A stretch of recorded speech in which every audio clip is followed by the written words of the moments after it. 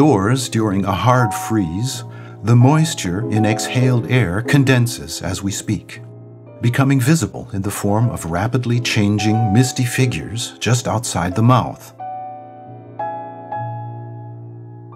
These forms appear undefined and chaotic, and they dissipate rapidly. If the speakers inhale cigarette smoke before speaking syllables or words, the same effect can be achieved at normal temperatures.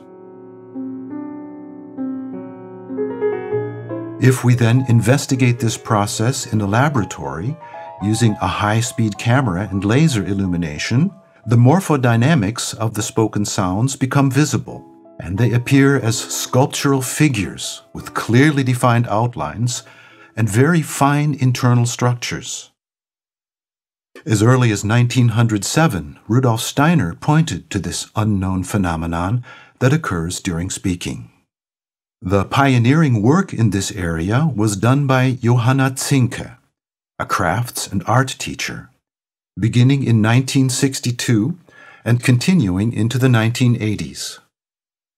She called these flow patterns air sound forms.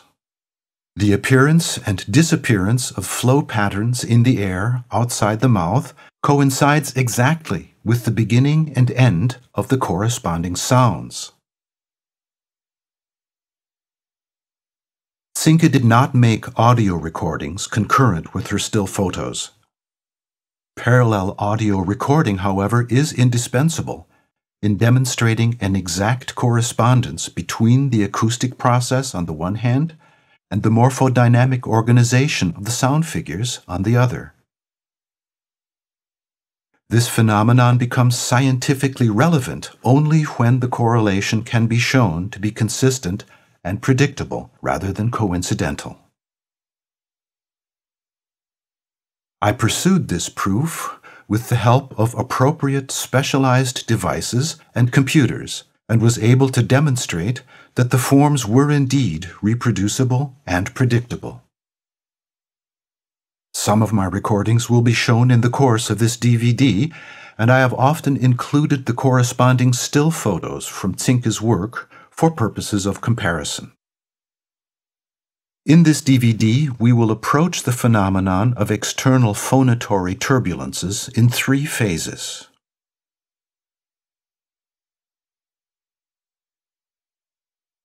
The first empirical part will present the five main vowels, some isolated consonants and syllables taken by a professional film camera at 25 frames per second and using photographer's lighting. For the sake of comparison, we also repeatedly show corresponding still photographs by Zinke. In this way, one can better trace the evolution of this new research. The second part is the core of the experimental scientific proof. A single syllable is recorded using laser light, a high-speed camera, and a microphone, and then analyzed in segments of one hundredth of a second.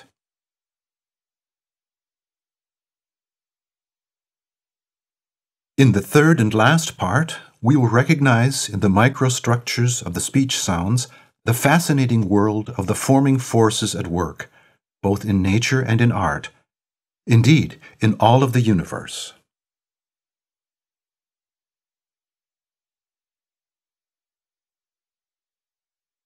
What do aerodynamic sound patterns look like? To give an initial impression of what the aerodynamic patterns of sounds look like when they are recorded on video and played back in slow motion, I present four samples from my feasibility studies. Two French words and one German word, spoken by one female speaker and one male, and made visible by inhaling eucalyptus cigarette smoke. The recordings are played back first in real time with sound, then followed by a repetition in slow motion but without sound. Pay particular attention to the gesture-like structure and movement of the individual aerodynamic sound patterns and the clear separations in the series. For unpracticed eyes, however, this timing is still almost too fast. bateau,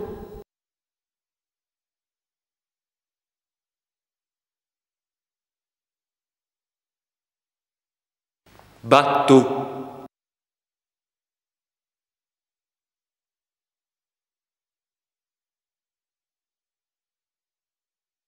nez,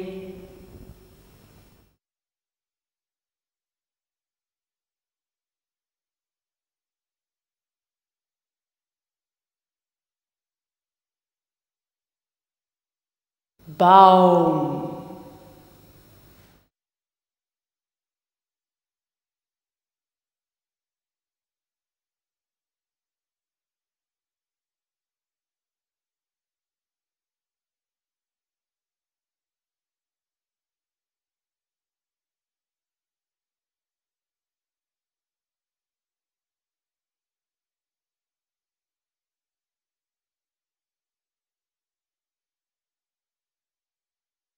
The five main vowels. The vowel ah. a,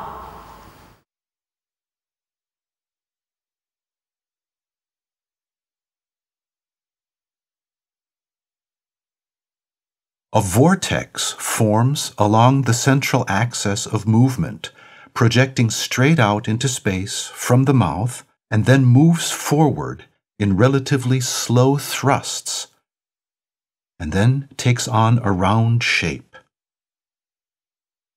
As early as 1923, Rudolf Steiner described the vowel ah as follows. As an air gesture, this ah is shaped by a stream of air that flows outward but becomes bowl shaped as it encounters the density of the air outside.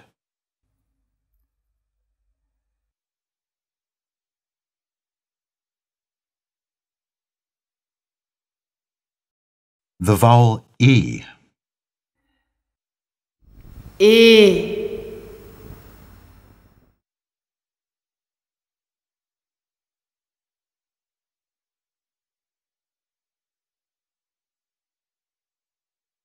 The vortex of the vowel e moves much more rapidly than the A and is oriented slightly downward.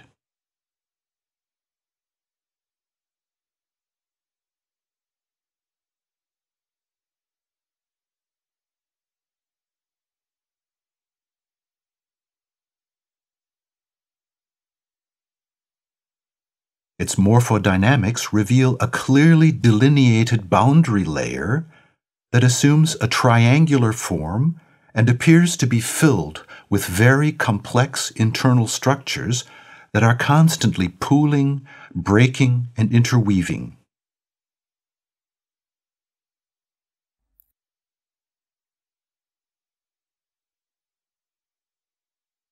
Zinke observed and sketched these internal structures in her pioneering work. A later experiment using laser illumination will confirm Zinke's observation and reveal even more details.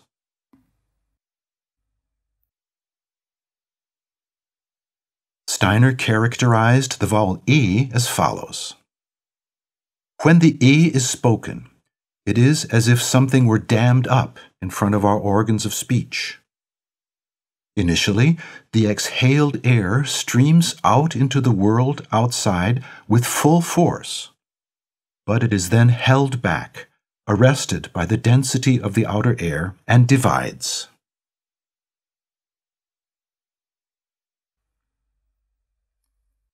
The vowel E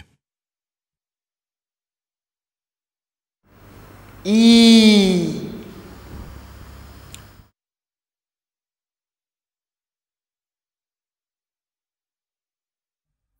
In comparison with the vowel E, the vowel E is even more downward directed and much faster, denser, and longer.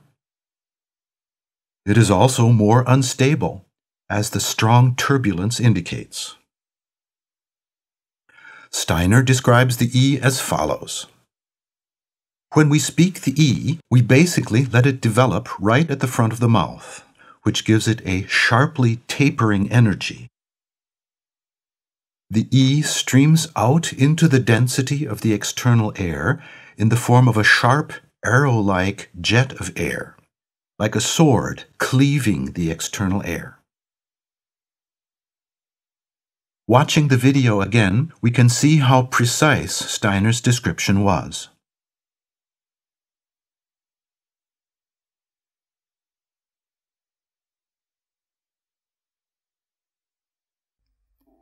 The vowel O. Due largely to the position of the lips, the vortex of the vowel O is more ascending than that of the A. O.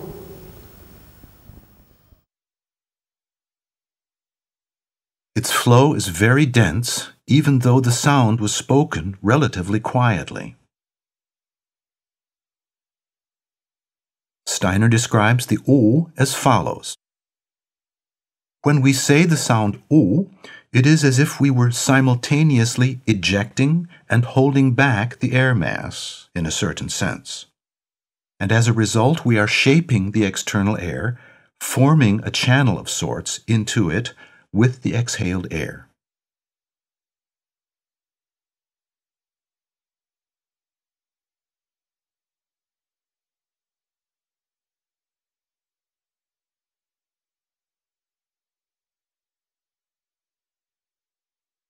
Several of Zinke's still photos of the vowel O confirm this description very nicely, showing the sculpting action as it bores into the external air.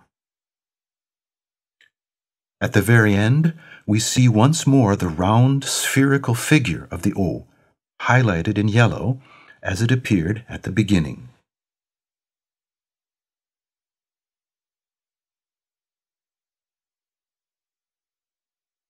The vowel U.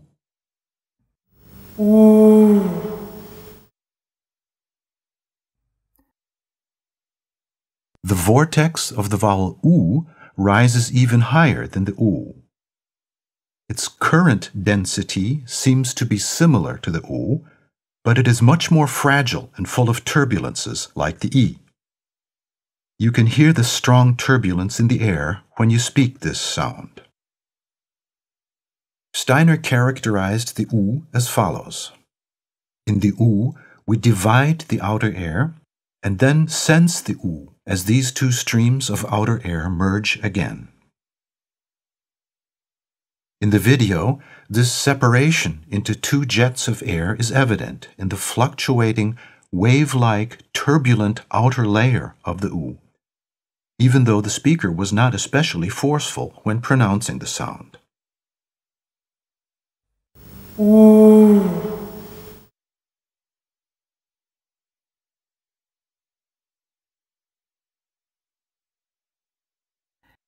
of the aerodynamic sound patterns I recorded are consistent with the air sound forms in Johanna Zinke's still photographs and occasional video recordings.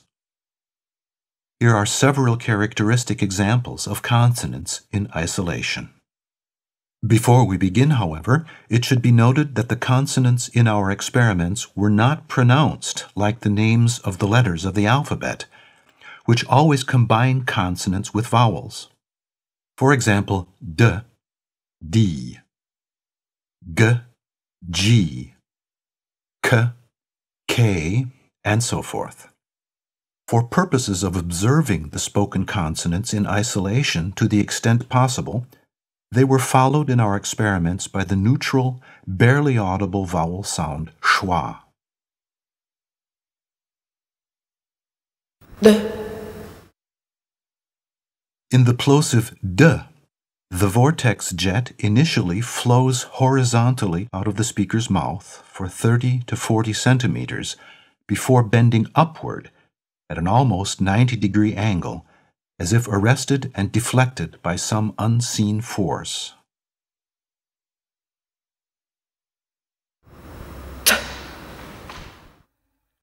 In the plosive t, the vortex jet streams outward at great speed only to make a sudden, almost 90 degree turn downward at a point 40 to 50 centimeters from the speaker's mouth. Subsequent vertical airflow is due to the aspirate that follows, which is unavoidable when speaking the German or English t. Together, these two sounds are especially apparent on Zinke's impressive still photo.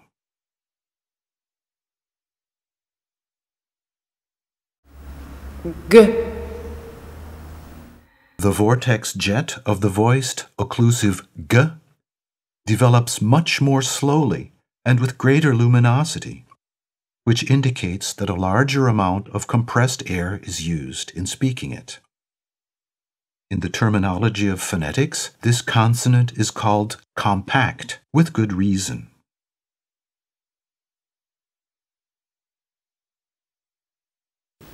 K. The vortex jet of the voiceless occlusive k is much faster than the g.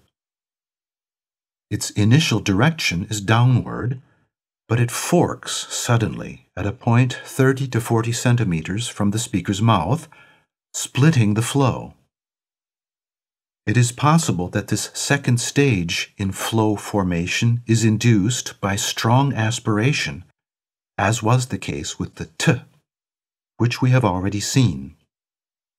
Alternatively, the sudden angular formation of this aerodynamic sound pattern could be the morphodynamic expression of the tongue recoiling forcefully against the back of the soft palate, which is essential to forming the k. Zinke believed she had found unique, rhythmically distributed angular internal structures in this sound pattern. As we will see midway through the video, I was later able to confirm her discovery using laser light.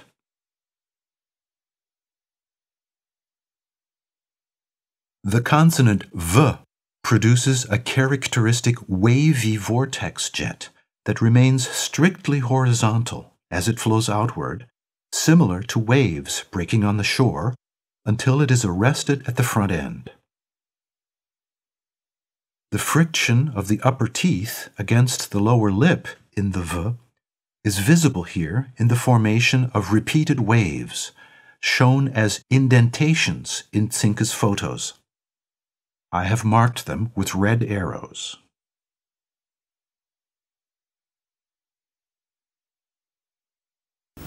Hmm. In our recordings, the vortex of the L is always characterized by pronounced flow density, fullness, even though the speaker never pronounced the sound especially forcefully. Surprisingly, the vortex jet splits into two, which angle steeply upward, producing a spiral form that we were not able to study in greater detail. In phonetics, the sound L is described as lateral.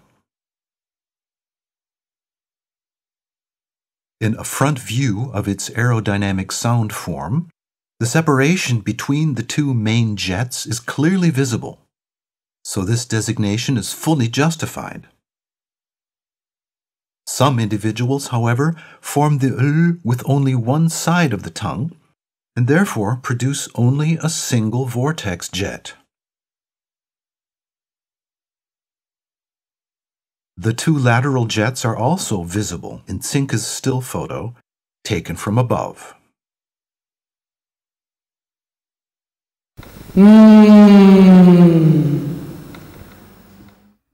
The aerodynamic sound form of the nasal m is especially impressive.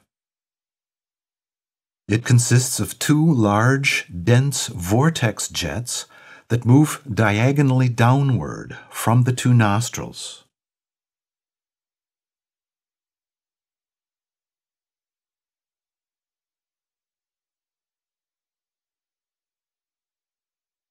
This unique pattern develops because the mouth is closed, forcing the exhaled air to exit via the nasal cavity, where the three nasal conchae force it into a spiraling motion.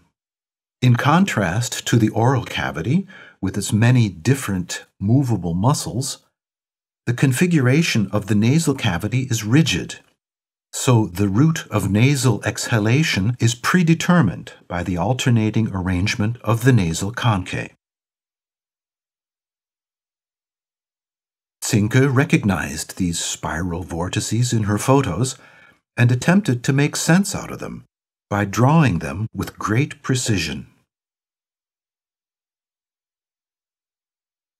Slow motion playback of our video recordings clearly reveals the curling shape of these spiral air currents.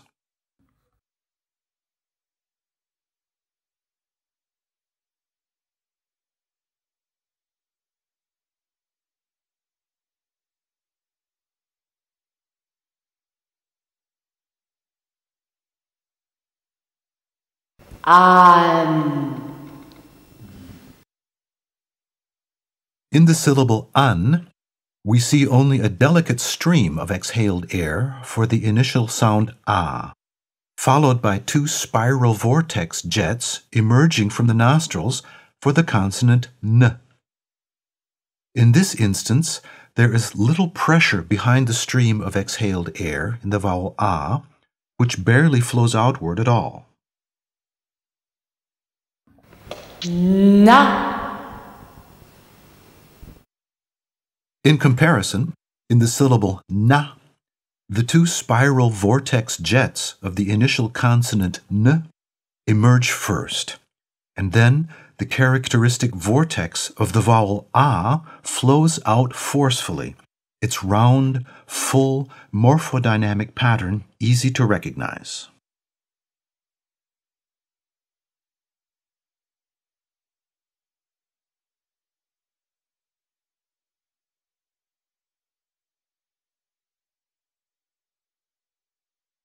This discovery confirms a phenomenon that plays an important role in speech education and in phonation itself. It has long been known that vocalization is most active in the vowel core of a syllable.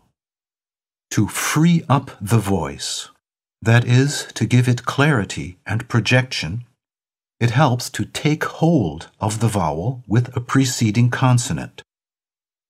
The effects include relieving pressure on the vocal folds. This phenomenon is very clearly visible and audible in the syllables an and na. In 1921, in the curative eurythmy course, Steiner explained that when the vowel comes before the consonant, the speaker wants to linger within rather than going out into the outer world. A vowel sound that comes after a consonant, however, expresses the intention to merge into the outer world. Tracing the activity of air used in speaking, as is possible in this video, allows us to truly understand the meaning of Steiner's comment for the first time.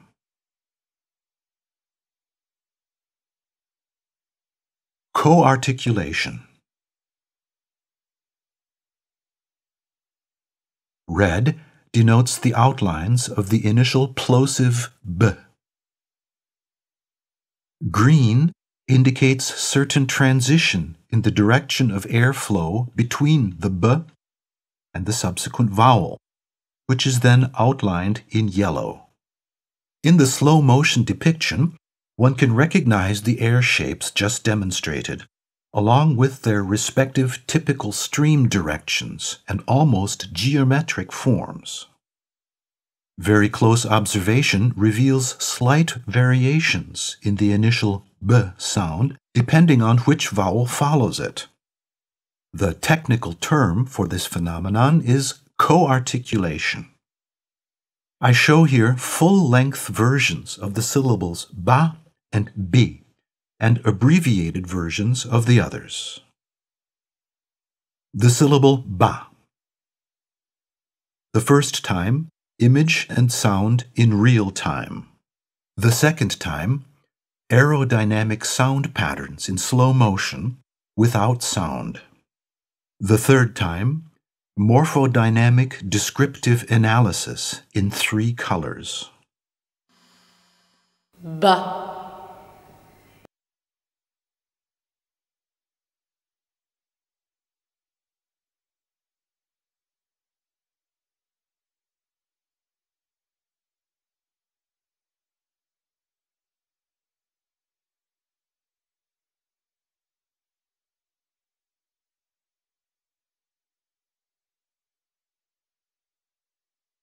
The first thing we hear is the onset of the consonant b. Burst is the technical term, through the sudden opening of the lip occlusion. Concurrent with the burst, an initially straight vortex jet flows horizontally out of the mouth. The jet then increases slightly in size as if impelled by a new surge of exhaled air, as revealed in increased luminosity. The green dots here indicate the subtle transition from the consonant b to the vowel a.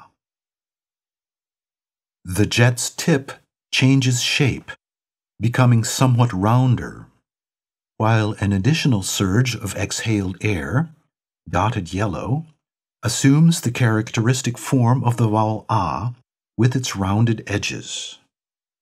This is how the syllable unfolds. Its structure, especially the transition in green, becomes obvious. The syllable b. B,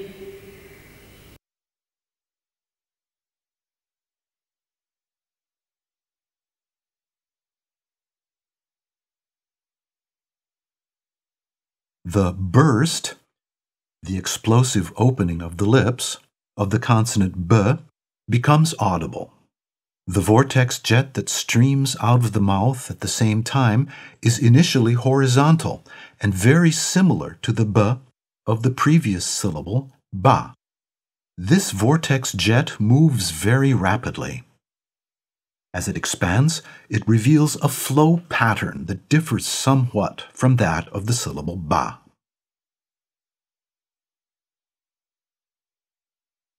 Next, the increased luminosity of the smoke indicates a new surge of exhaled air. This, however, is not yet the beginning of the E. We have observed how the flow pattern of the B is directed slightly upward in contrast to the obvious downward direction of the air exhaled in speaking the vowel E. The difference in direction between these two flow patterns gives rise to an intermediate zone, the transition, in green. The morphodynamics of the vowel E produces a figure that is distinctly triangular when viewed in profile, as we have already seen in the introduction to the five main vowels. Inside the triangle, prominent breaks and internal structures appear, indicated here with yellow arrows.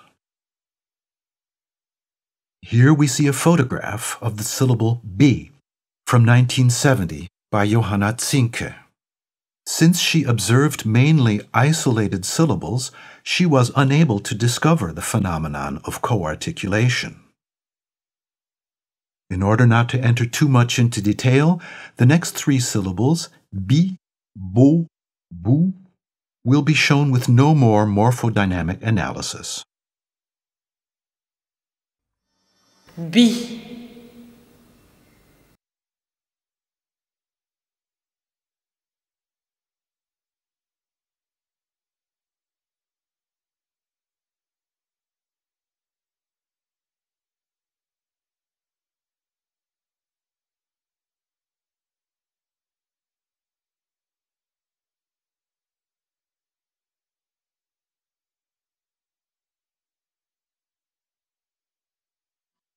beau,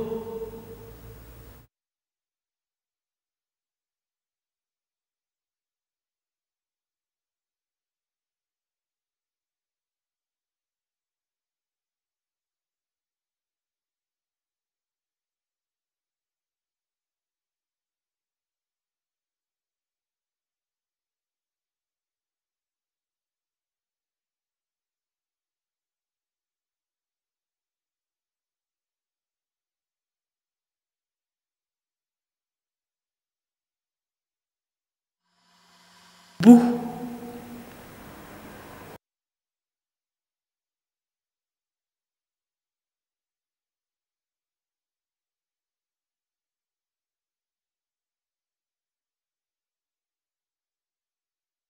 When these five syllables are formed, there are two clear main moments. It is always amazing how these flow forms unfold.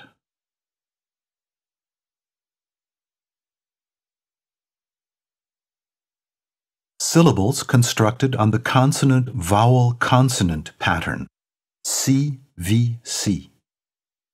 Of the five syllables I studied, bak, bek, bik, bok, and book, the first two will be analyzed in detail and the others shown with minimal commentary.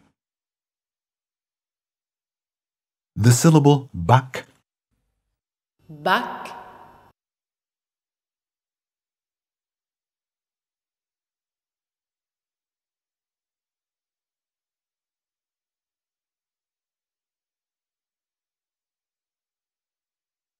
Slow motion playback reveals four structural stages.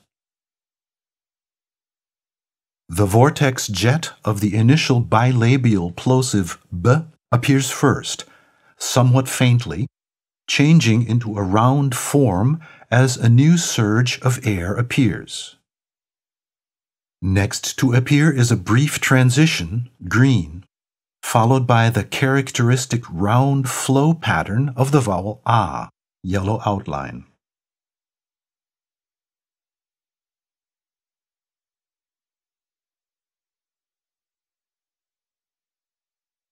These forms then dissolve to be followed by a surprise. No more air flows out.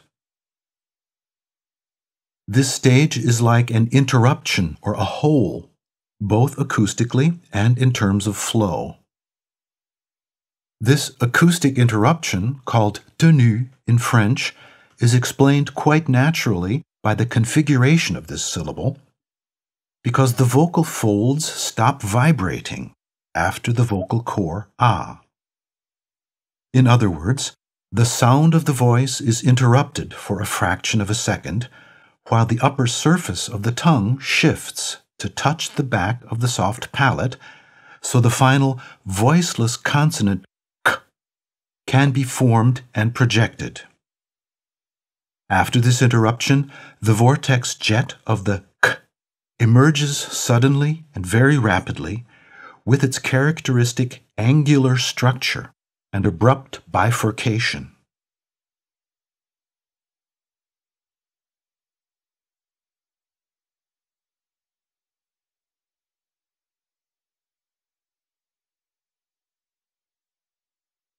The syllable bec. The vowel sound we are looking at here is the short e, as in the English bet, also short e in German, e in French. Its aerodynamic sound form looks and flows like a mixture of a and e. Bec.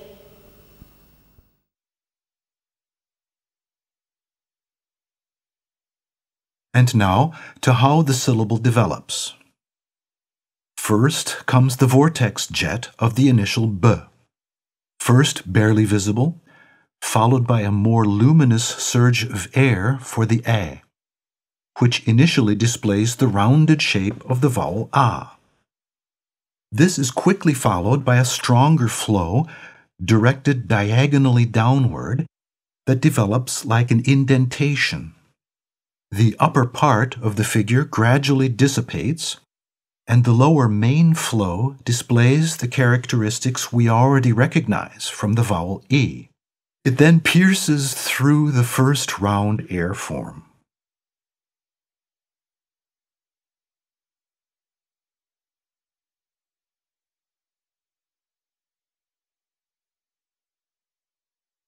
As in the syllable bak, the vowel is followed by a morphodynamic gap, which coincides with an acoustic gap and indicates that no new surge of air occurs while the vocal folds are not vibrating.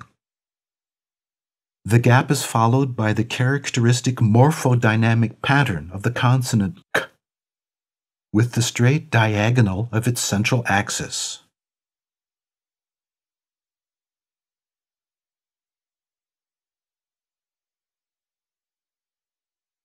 A division ensues, followed by additional divisions. Speech science is very familiar with the fact that k is one of the consonants that is very sensitive to co-articulation, meaning that its configuration changes depending on its proximity to different vowels. In the syllable beck, for example, the main thrust of the final k is lower than in the syllable bak. We are observing the phenomenon of co-articulation at work. bic,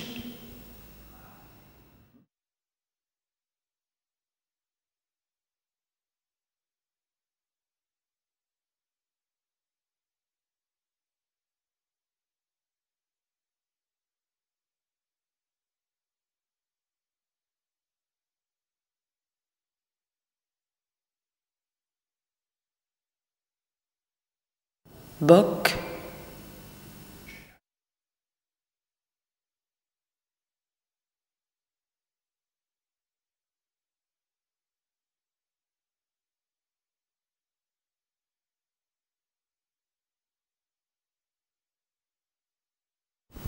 bouc,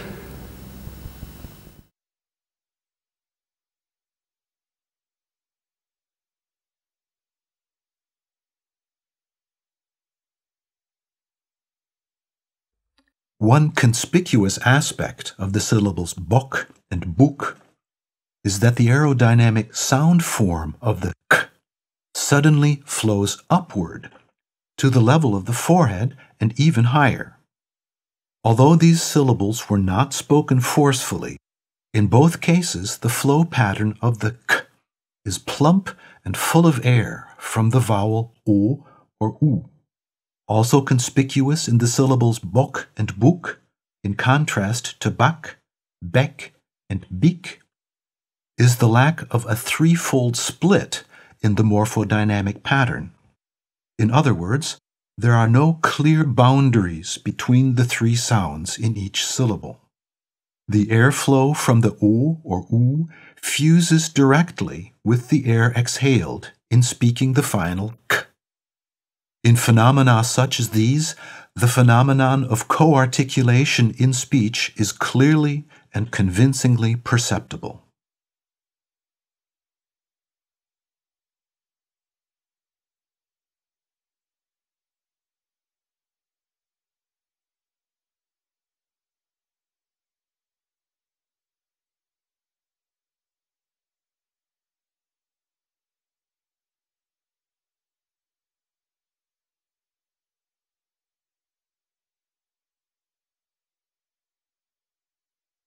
Boris Rybak, a cardiopulmonary biophysicist from Paris, had independently of Johanna Zinke been studying the external vortices of speech, which he called external phonatory turbulences, since 1980.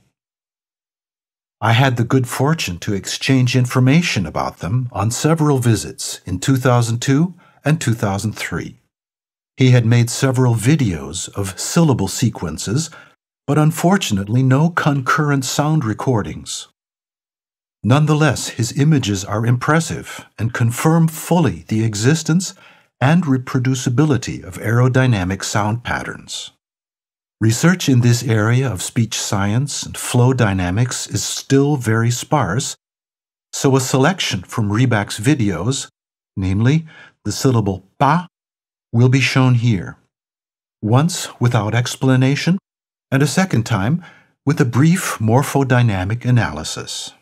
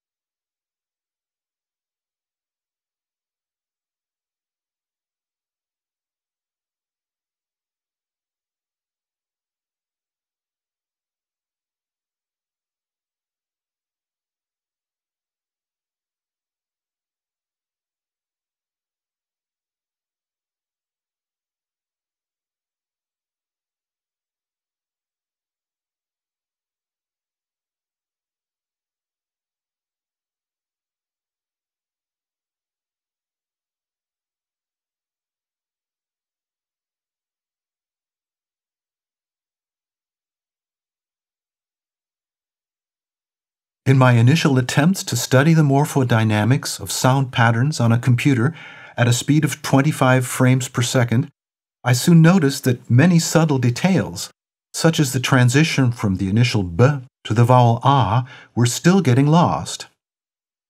They could not be made visible because audio and video playback of an individual syllable typically took less than one second. Not until my collaboration with flow researcher François Lucéran of the French National Research Center for Fluid Dynamics near Paris was I able to continue my experiments with the help of laser illumination, a high speed camera, and sound synchronization. You're looking at a little room in the laboratory of the Institute for Flow Science. The supporting frame prevents any disruptive head movements while the test subjects are speaking the syllables. The room is kept at 20 degrees centigrade and normal humidity. The constant hissing noise in the background comes from the cooling system for the laser apparatus. While it does have a minimal effect on our acoustic measurements, it has no impact on the aerodynamic flow patterns of the spoken sounds. The subject's eyes and nose are protected because laser light can easily cause burns. Also shown here are the camera, 100 frames per second, and a computer for recording the images. We work in the dark, so the thin bluish beam of laser light can illuminate the exhaled air, which is filled with smoke from a eucalyptus cigarette. The microphone is placed approximately 15 centimeters away from the speaker's right cheek. The syllable Beck. First in real time with both the sound and the image. Then with only the flow pattern without sound to allow the viewer to get used to these complicated aerodynamic figures. The subject says the syllable Beck four times on a single exhalation after inhaling smoke from the eucalyptus cigarette. bec, bec, bec, bec. Two facts are immediately obvious. First, the vortices and flow structures that human speech produces in the surrounding air are unexpectedly voluminous. Here, the great compressibility of air is made visible. In our living, breathing, speaking, and hearing, we are constantly immersed in the mobile, fluid ocean of the atmosphere, an ocean we often forget about because it is invisible. Second, the phenomenon develops at great speed, both acoustically and in terms of its morphodynamic flow. A single syllable lasts less than a second. The acoustic phenomenon seems to be exactly synchronized with the syllable's aerodynamic flow pattern, as our study will attempt to prove. The second syllable Beck from this series twice once at normal speed, the way we would say it in everyday speech. Beck. Beck. A second time, with only the sound and its acoustic and phonetic analysis. Beck. The oscillogram is shown above, the spectrogram below. These will be discussed later. Corresponding to the image's duration of one one hundredth of a second, 10 milliseconds, we also cut the synchronized recorded sound to 10 milliseconds for analysis. First, the 40 milliseconds before the short, explosive release burst of the initial B. The lips are closed, and we hear the voice onset, followed by additional audible but dull voiced impulses while the lips begin moving, but still only slightly.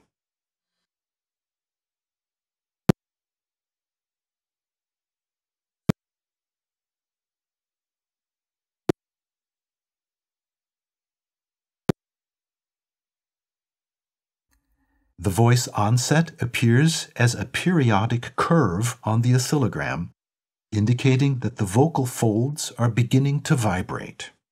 Once again, in slow motion with sound.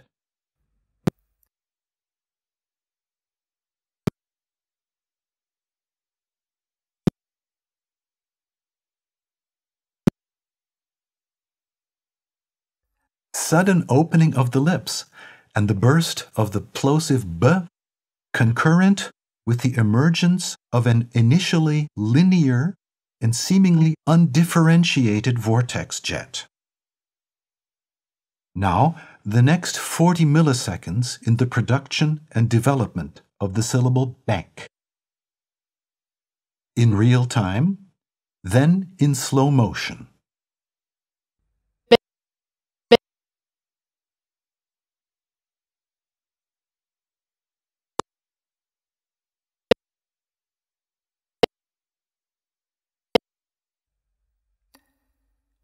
On the oscillogram, we see the brief onset of the burst on the left, and then the vibration of the vocal folds, not yet fully rhythmical or periodic, that will produce the full vowel a. We are in the intermediate voice onset phase, which is also quite audible. Let's track this transition phase image by image. The burst of the plosive b concurrent with the emergence of an initially linear and seemingly undifferentiated vortex jet. Next comes an extremely brief phase in which the vibration of the vocal folds is still arrhythmical, that is, not yet fully periodic. An intermediate pattern then reveals itself, resulting in a threefold morphodynamic subdivision. On the left, we see the vortex jet of the initial B in red. It has continued to develop and is followed by a somewhat more luminous structure in green, indicating the voice onset transition. The third component is an even more luminous, rounded flow pattern in yellow, signaling the beginning of the vowel core A.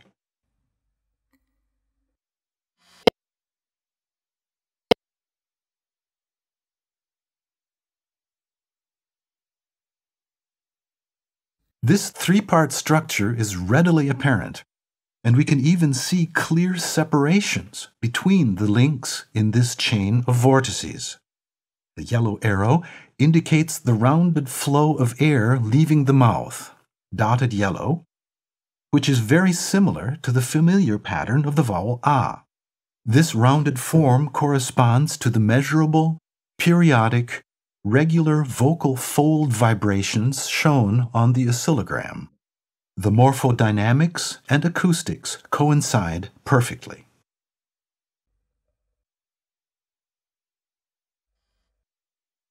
The flow pattern of the vowel could still be that of an a. To the left, the vortex jet of the consonant b has almost dissolved into individual vortices while the central transition portion still retains something of its form. The aerodynamic pattern of the vowel develops somewhat. Zooming in on the gap that has developed reveals a delicate, subtle transition.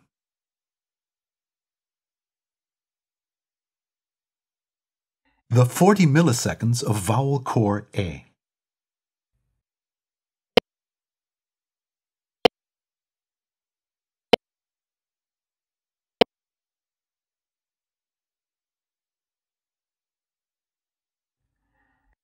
At this point, periodic vocal fold vibrations become clearly readable on the oscillogram.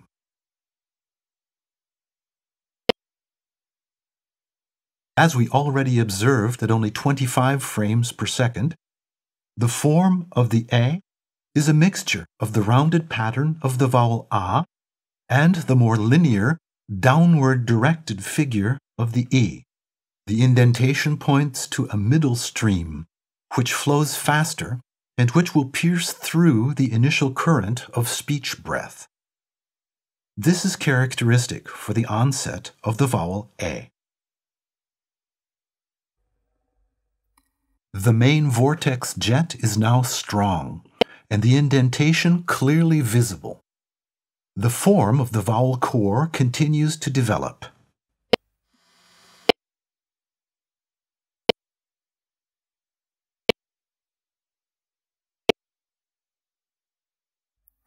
The section of the oscillogram for the next 40 milliseconds shows it beginning to fade away on the right.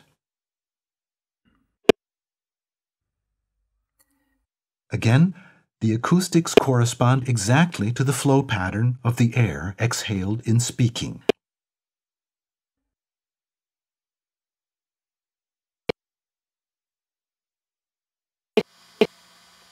The oscillogram reveals the beginning of voice termination, that is, the progressive cessation of vocal fold vibrations, and therefore also of voicing.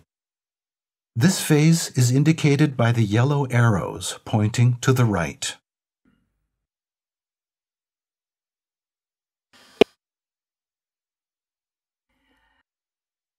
The lower portion of the vortex jet becomes wavy.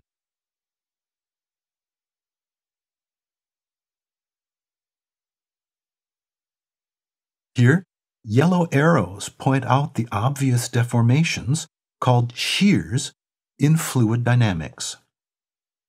No more exhaled air follows because vowel production is now complete and the back of the tongue is already pressing against the rear of the soft palate in preparation for the final voiceless occlusive k.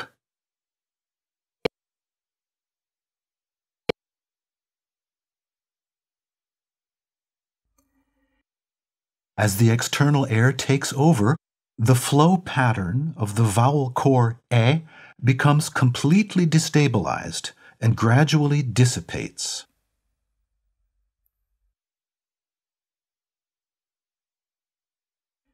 For review and orientation, let's look at the entire syllable beck. Beck.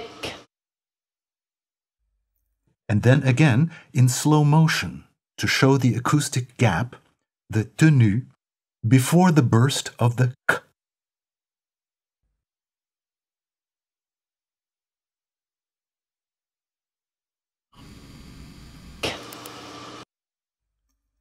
Frame 326. 10 milliseconds before the release of the k.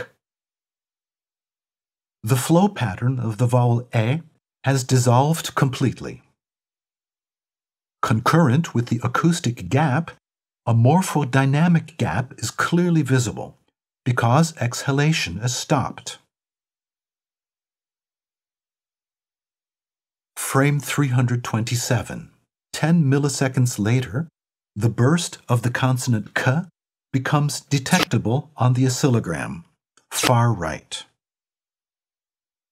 Surveying the whole oscillogram and the entire spectrogram for the syllable beck, we see, outlined here in red, the acoustic gap between the end of the vowel e and the onset of the final consonant k. The gap lasts three tenths of a second and corresponds exactly to 30 frames on our video recording.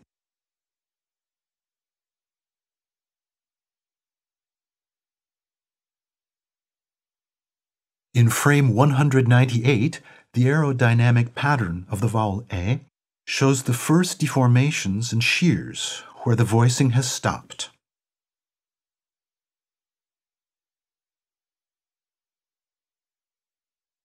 Frame 328. 10 milliseconds after the consonant k has sounded, its vortex jet has yet to emerge from the mouth.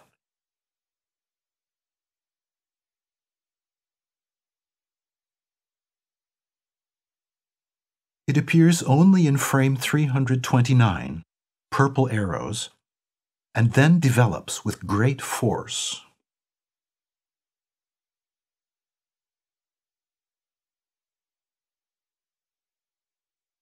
This minimal time lapse of 20 milliseconds, or in some cases only 10, is present in all of the bak and bek syllables we studied.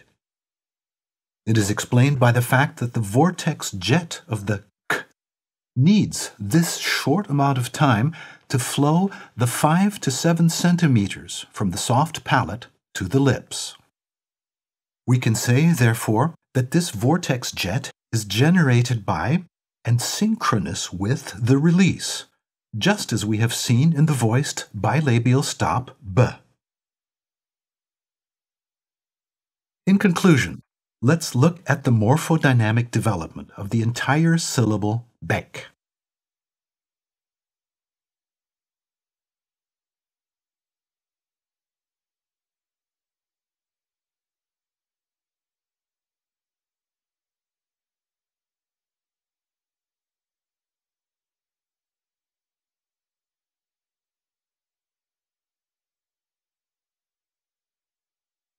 For purposes of comparison, and to illustrate that this phenomenon is reproducible at least as long as the speaker remains the same, we will now look at the third in the series of four beks spoken by the same female subject on a single exhalation infused with eucalyptus cigarette smoke.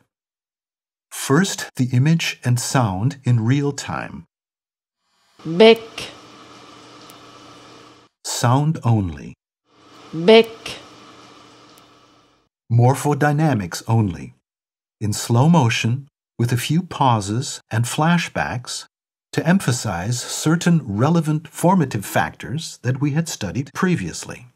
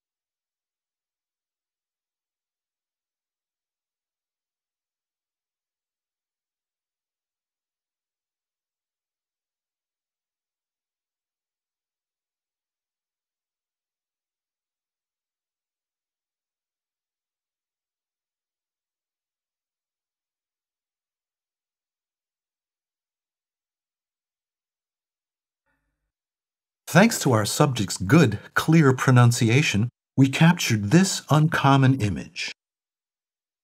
It is an angular, rhythmic shape, which in reality is three dimensional.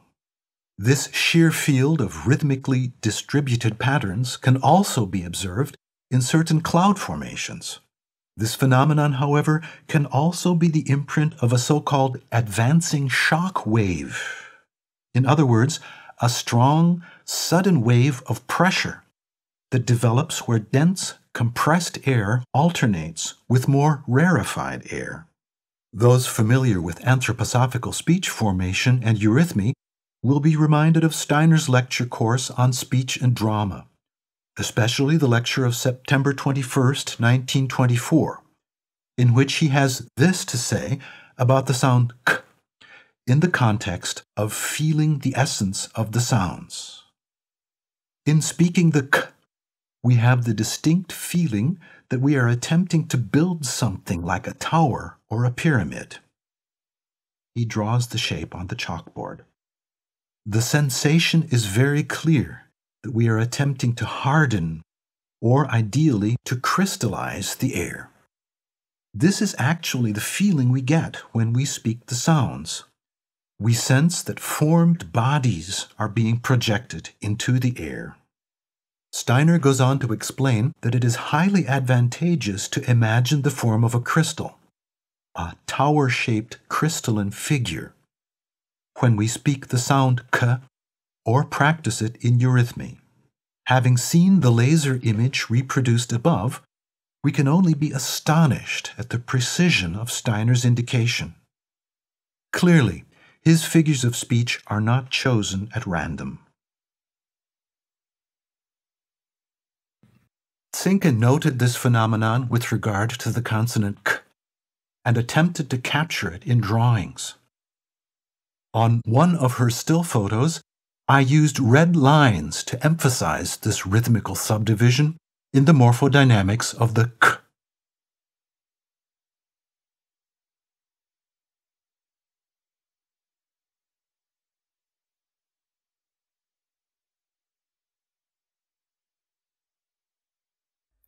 Zinke's notes on the vowel E and our proof using laser illumination.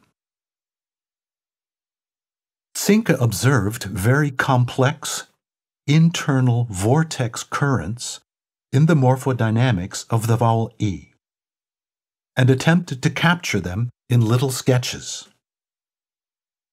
These currents seem to intertwine even before they exit the oral cavity, where they then form a pyramid with its base aimed diagonally downward. This pyramid is formed by four main currents. Viewed in profile, it displays the triangular outline, here in yellow, of the typical form of the vowel E, as made visible to date. The vowel E. Image recorded with laser illumination, no sound. First, viewed from below the chin.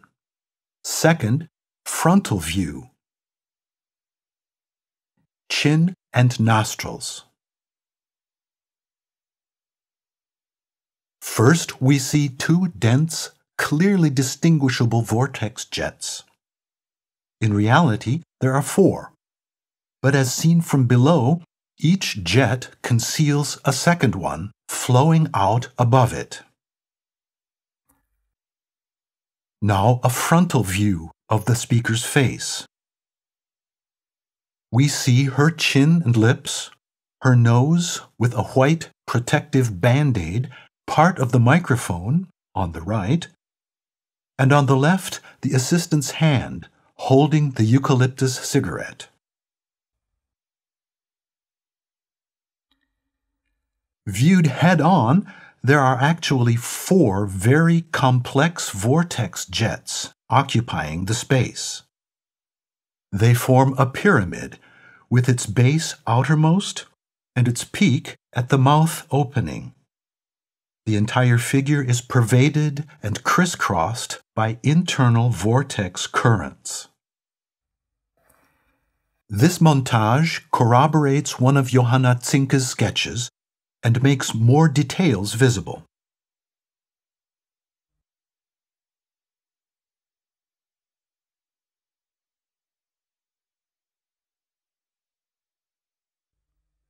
As the example of the vowel E makes clear, each sound is a complex, regular, chaotic system. Regular because its overall structure is defined by an outer boundary and because it is reproducible. Chaotic, because it consists of a turbulent, that is, incomputable, chaotic medium. We might also say that each sound is a morphogenetic field, to use the term coined by the English biologist Rupert Sheldrake, or a strange attractor, to use the terminology of chaos theory a cosmos all of its own. In highly condensed form, the sculptural structures and forming forces that we otherwise see spread out in large format as a macrocosm in nature, in the sky, and even in the galaxies, flow out of the microcosm of the human mouth. But in human beings, they resound and speak.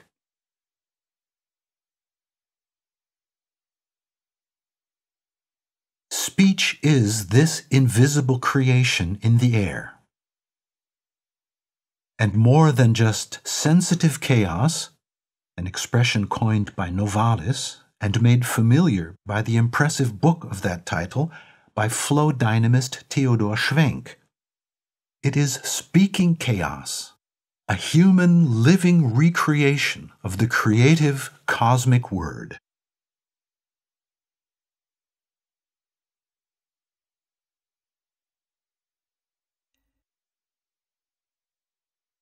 This Romanesque capital is a beautiful example of speaking mouths creating the world through the word.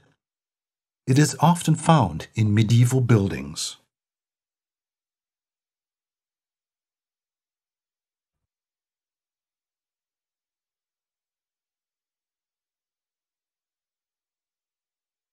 Note the great variety of vortex formations and platforms streaming forth from these primordial mouths or faces. From galaxies to blood circulation to the internal structure of the DNA in our cells, these dynamic, chaotic formative processes are at work. They shape all life. That the world the tree of life was created by sculpting forces from speaking mouths, that is, through the formative forces of the word, is more than just a beautiful image. Apparently, people in medieval or even earlier times still experienced the air currents involved in speech with a dreamy peripheral consciousness.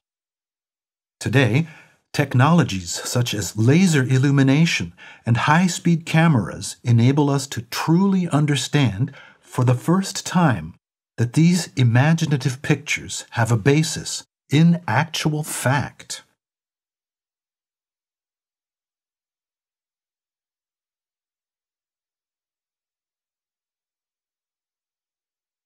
Zinke observed the morphodynamic changes in the flow patterns of several vowels when sung on a scale. Here are two of her original photographs of the vowel a.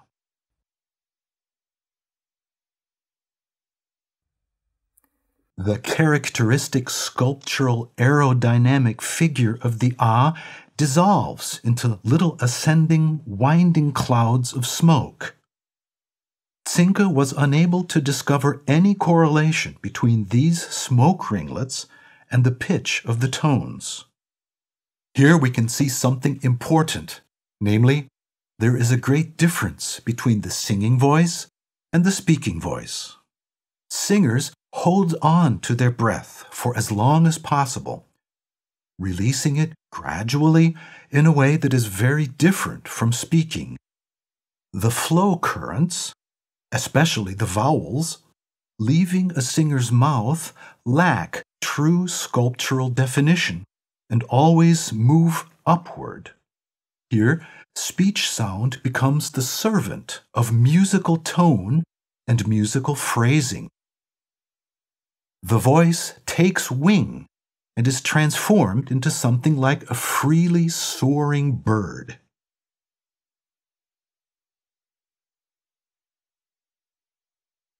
red winged blackbird. These photographs were given to me by a world famous American reporter, Robert Bucati. One of them won an Image of the Year award in 2003. He photographed this blackbird at sunrise in very cold air.